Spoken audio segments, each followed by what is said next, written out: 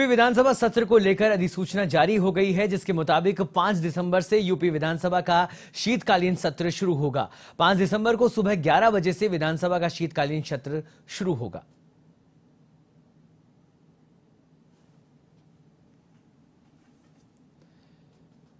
तो आपको बता दें, पाँच दिसंबर से यूपी विधानसभा का शीतकालीन सत्र जो है, वो शुरू होने वाला है, जिसकी अधिसूचना फ़िलहाल जारी कर दी गई है।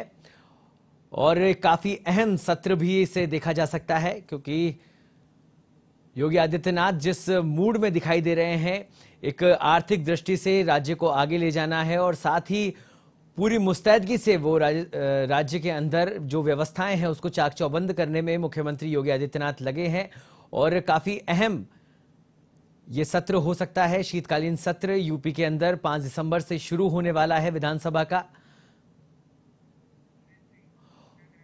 और इस खबर पर अधिक जानकारी के लिए हमारे साथ जुड़ गए हैं उत्तर प्रदेश के स्टेट हेड अमरीश सिंह। अमरीश, उत्तर प्रदेश विधानसभा का 5 दिसंबर को शीतकालीन सत्र शुरू होने वाला है। ऐसे में किस तरह से खास रहने वाला है ये सत्र और क्या कुछ अपडेट है इसे लेकर? बिल्कुल, देखिए सौरभ जिस तरीके से अधिसूचना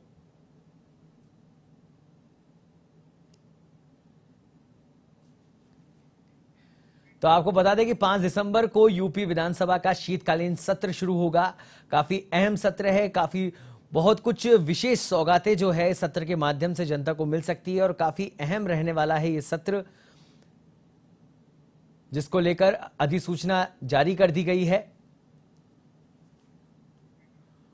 और इस खबर पर हमारे साथ जुड़े हुए हैं हमारे सहयोगी, उत्तर प्रदेश के स्टेट हेड अमरीश सिंह। अमरीश पाँच दिसंबर से विधानसभा सत्र, शीतकालीन सत्र शुरू होने वाला है।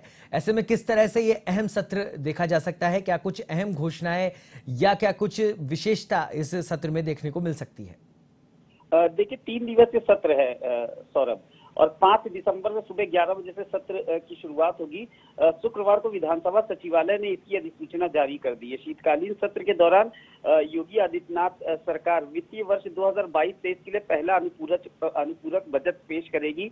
इस और इस संक्षिप्त सत्र के दौरान क्योंकि तीन दिवसीय सत्र है तो इस दौरान सत्रकार सरकार कुछ विधेयक भी पारित कराएगी और कुछ अध्यादेशों के प्रतिष्ठानी विधेयक भी लाएगी। योगी आदित्यनाथ की अध्यक्षता में बुधवार को कैबिनेट बैठक में विधानमंडल का शीतकालीन सत्र आहूत करने के संसदीय कार्य विभाग के प्रस्ताव को मंजूरी दे दी गई थी। तय किया गया था कि विधानमंडल का शीतकालीन सत्र 5 दिसंबर से ही शुरू होगा।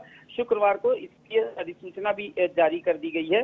अब पिछला जो विधान मंडल का मानसून सत्र था वो पाँच दिवसीय था सौरभ उन्नीस से तेईस सितंबर तक। संसदीय कार्य मंत्री सुरेश खन्ना से हमने बात की उन्होंने बोला कि विधानसभा का यह सत्र तीन दिन चलेगा। इसमें सरकार की ओर से मुख्य रूप से अनुपूरक बजट पेश किया जाएगा। कुछ विधायी कार्य भी होंगे। योगी सरकार ने वर्तमान वित्तीय वर्ष के लिए लगभग उनतीस मई को इससे पहले जो बजट है वो पेश किया था।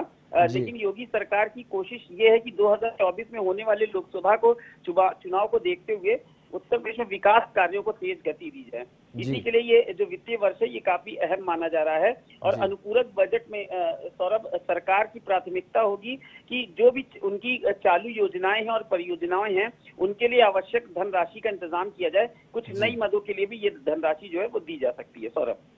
धन्यवाद अमरीश इस तमाम जानकारी के लिए। तो आपको बता दें कि उत्तर प्रदेश के अंदर पाँच दिसंबर से विधानसभा सत्र, शीतकालीन सत्र शुरू होने वाला है। तीन दिवसीय सत्र रहेगा, जैसा कि हमारे state head, UP state head Amrish ने बताया कि काफ़ी अहम रहने वाला है चुनाव की दृष्टि से भी, क्योंकि योगी सरकार चाहेगी कि जो जनता के विकास कार्य हैं, प्रदेश के जो विकास कार्य हैं, वो इस, इसके अंदर अनुपूरक बजट पास किया जाए और उन सभी कार्यों को जल्द से जल्द पूर्ण किया जाए।